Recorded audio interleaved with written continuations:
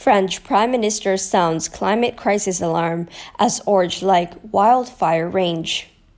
The French Prime Minister has said France must fight more than ever against climate breakdown, but also learn to adapt to it. As she met authorities battling a huge wildfire that continued to burn through southwestern pine forest and has forced the evacuation of more than 10,000 people as more than 1,000 firefighters battled the rampant Landiras fire south of Bordeaux, with hundreds of reinforcements expected.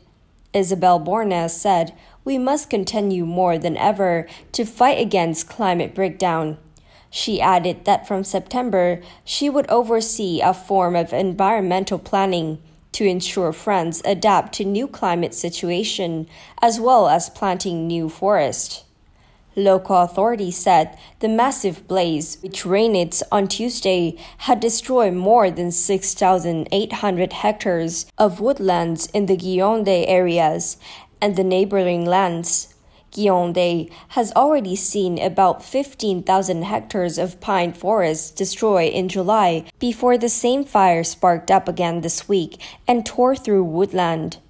Firefighter likened the blaze to an entity with a life of its own.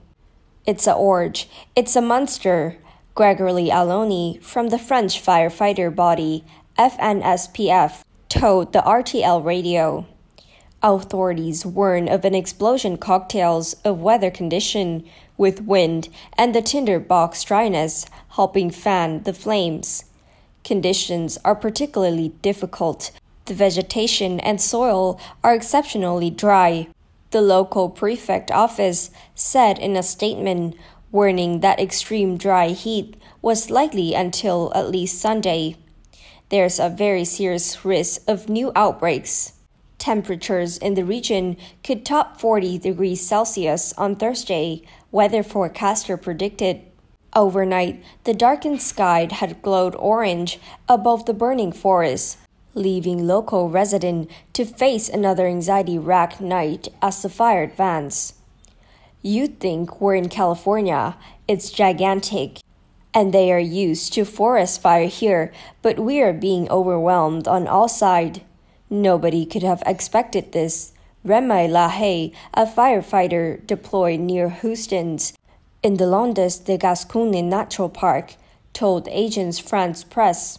Firefighters said they had managed to save the village in Belin which was transformed into a ghost village after police told residents to evacuate as the flame approached. We battled all night to stop the fire from spreading, notably to defend the village of Belin Béliet. Arnaud Mendousse of the Gironde Fire and Rescue Service said. In nearby Hostens, Alison Flayoid and her father stay in their home, their bags packed in case they needed to make a hasty departure.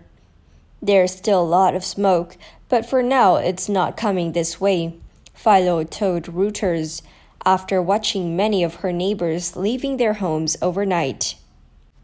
That's it for today. Thank you and goodbye.